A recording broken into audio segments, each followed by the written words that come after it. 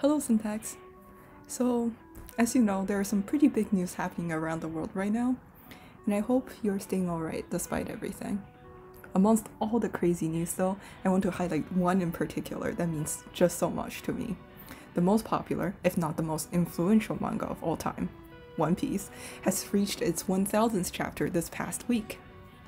Publishing weekly chapters in Shonen Jump from 1997, One Piece by Oda Ichiro detailed the adventures of Luffy, a kid who accidentally ate a magic fruit that rendered him incapable of swimming, but somehow turned his full body into rubber.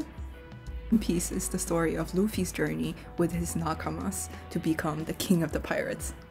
A thousand chapters and over 20 years of serialization is such an insane milestone, and I'm so glad to be a tiny part of what makes One Piece the global phenomenon that it is today.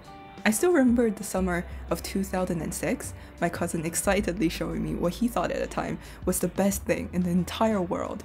The animated story of a high schooler with a giant sword that can perform basically magic, and a rubber kid traveling around the world trying to find the ultimate treasure, the One Piece. From then on, my life is measured in two different timelines. One marked by the calendar, and the other marked by all the major events in One Piece. The year that my family finally got internet was the year that Nightmare Luffy was trying to fight off an onion human the size of a mountain. It was the same year that Zoro offered to make the ultimate sacrifice in order to save his captain and his crew. The year that I started middle school, I cried my eyes out watching Luffy's loss, and then I cried again witnessing the Straw Hats' tearful reunion. When I first moved country, the Straw Hats just landed in the new, exciting island of Dressrosa and exploring this passionate country. The story of the Straw Hats was always with me every step of the way. For the 1000th chapter landmark, the official One Piece channel has made an anniversary video about how the story of One Piece has impacted the lives of so many readers. Link in the doobly-doo, by the way. I can see myself in every scene depicted in that video. Yes, I grew up with the Straw Hats. I sometimes try to be as cool as them. Sometimes I wanted to be just like them. Sometimes I let their words slip through my lips, and their lines stayed with me and helped me to move forward. Their story makes me feel an instant bond and connection with anyone else that appreciates them. This video still makes my nose tingle a bit, and at the same time still makes me chuckle the fifth time that I watched it. Every story has to end, and it saddens me to think that the story of Straw Hat Luffy and his Nakamas will also end someday.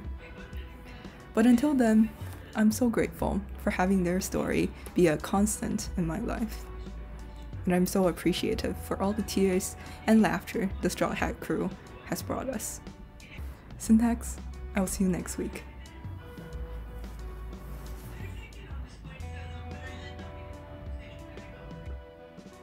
Hi, Editing Alex here.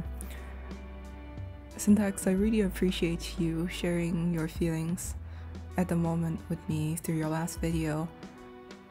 It's such a beautifully written video, and I'm so glad that I can be the person calling you, and I'm also so glad that you always pick up the phone when I call, and you have no idea how much that means to me.